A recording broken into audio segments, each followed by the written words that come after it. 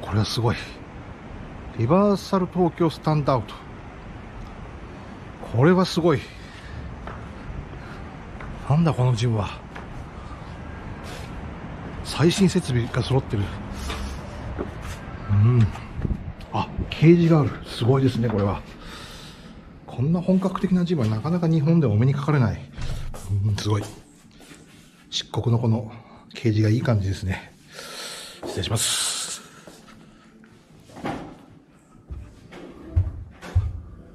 あ、片岡代表。すいません、ちょっと今日あの、はいちょっと訳ありでちょっとお邪魔させていただきますが、はい、お願いしまこのジムは何月にオープンされたんですか？す。今度ジムは10月にオープンしました。10月1日に。すごいですね、この広さといいあり。がとうございまこれはすごい。国内随一と言っていいんじゃないですか？す。そうですね、都内だと一番大きいですよねはい。ちょっとあの、奥にちょっとはいゴッドがいますんで、ちょっとあー私ちょっとゴッドに会いに行きますんで、失礼いたします。今日お邪魔いたしまおす。願いしま失礼します。おお前代表と喋ってるの？あ、ちゃんと撮影させていただきました。ちゃんと挨拶した？あ、撮影とさせていただきました。面として終わりました。はい。すごいですね。完全貸し切りで。ははい。あ、なるほど、なるほど、はい。都内最大級のお家になるはあ、すごい。もうまだ新品の匂いがしますもあそうだよこの辺ちゃんと取っておけあこういうの。こういう最新機器ですね、これ。これはすごい。都内ではもうほぼ最大スケールじゃないですか、ここは。でですね、ゴッドすいません。今日はあのゴッドカウンセルの日でして、ちょっとあの早速質問させて、相談させていただいてよろしいでしょうか。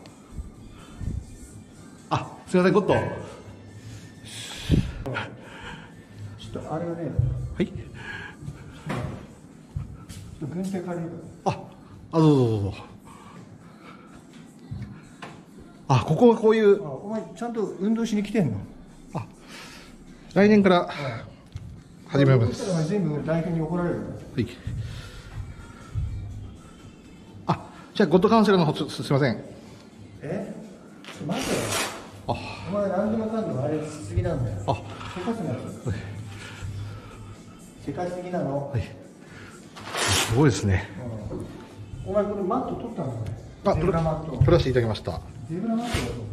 この黒と赤のバランスがすごいですね。そうそ闘志かき立てますね、これね。うこ。れ西園寺徹っつってよ。はい。西園寺 MMA のあの練習相手が西園寺徹っていうの黒赤でエディを思い出したわけエディが確かに。エディよりもちょっと重いですね、この彼のが。大名の名付けだから西園寺って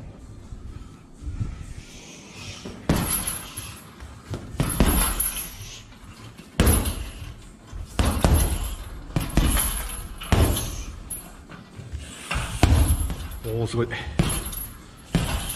おお、すごいすごいすごい。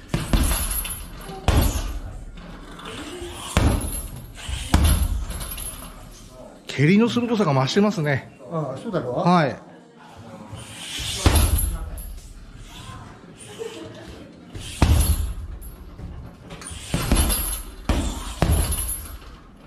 こちらどれぐらいの会員費で通えるんですかね？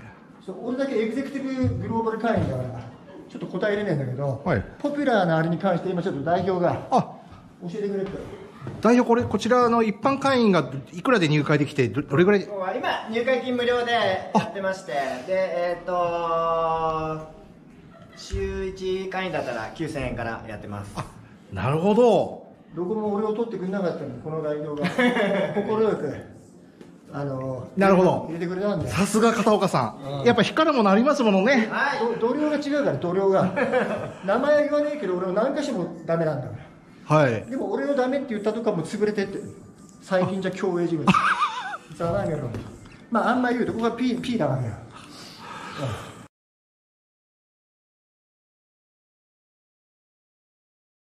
ちょっと代表がミット持ってくるあ承知しました。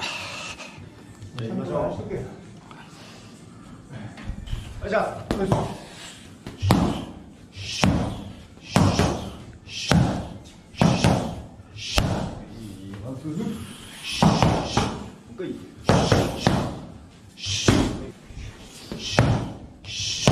も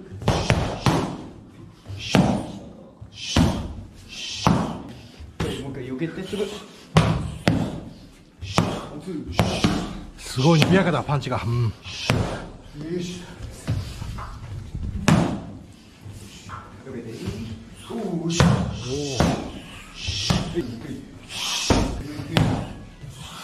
4つ上もった6 8えええええ10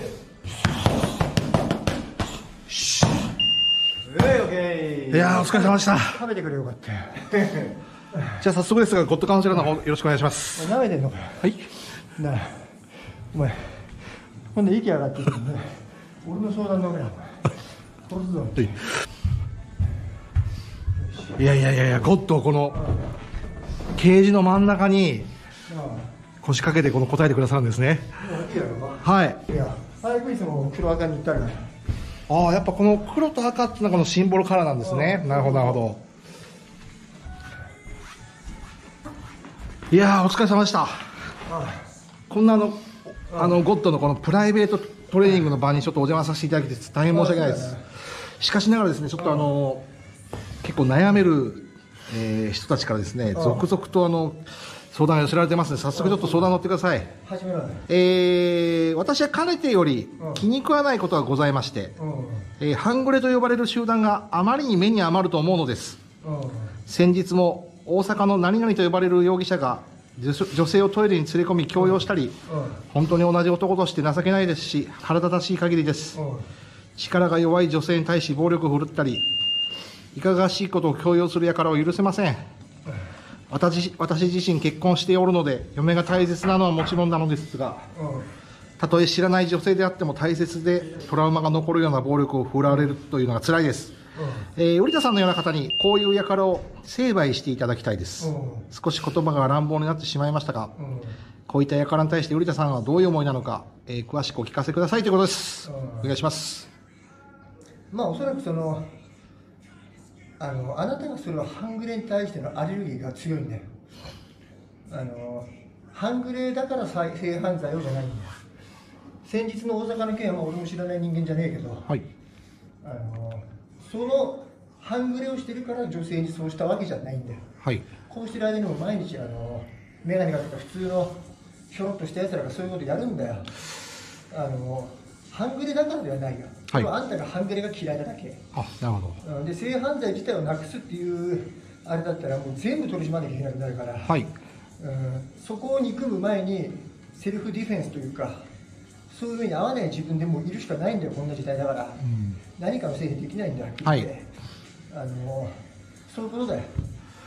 半グレだからじゃない、はい。それはじゃあじわけじゃねえけど。はい。男として許せんっていうのは性性犯罪なんか全部許せない。はいうん、あの女も男ももう自分の身はもう自分で守るしかないんだよ。